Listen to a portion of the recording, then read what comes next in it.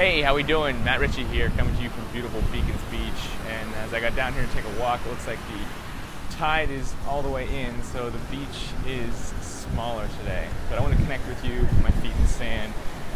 So I'm here today. Uh, it's Tuesday already, and I just got back from a really quick trip to San Francisco because I was there for the weekend. I did a spontaneous trip with my good friend Jay Brown and we went up there to help facilitate an event that was going on in San Francisco. And I didn't really know anything about it till the very last minute. We drove up there, eight hour road trip, and Sunday we helped to facilitate an Evo experience uh, within the event called Messy Twister. An amazing event. We had about 150 people turn out in Dolores Park in San Francisco. We had a great crowd. Uh, Sergey Brin, one of the co-founders of Google, ended up showing up, playing some Messy Twister, had an amazing time. So I hope you had an amazing weekend.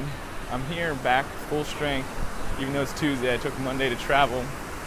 And I want to ask you a question. I want to ask you a question about legacy.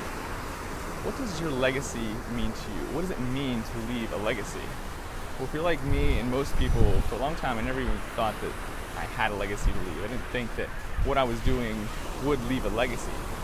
But regardless of whatever we're doing, we're leaving a legacy by default. So we're not consciously creating our life and doing the things we want to do and making the changes we want to see in the world. Our legacy will be by default. So how can you create a legacy? How can you get clear on what legacy you want to leave for your children, your grandchildren, and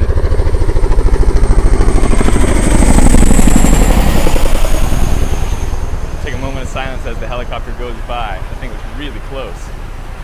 You know, what kind of legacy are you leaving for the generations beyond you? So, if you want to know how you can better start leaving your legacy consciously and on purpose, join me tomorrow, Wednesday, 6 p.m., our Hump Day Hangout. We're going to address legacy building and how you can get started. I hope you're having an amazing night. Have a great day tomorrow.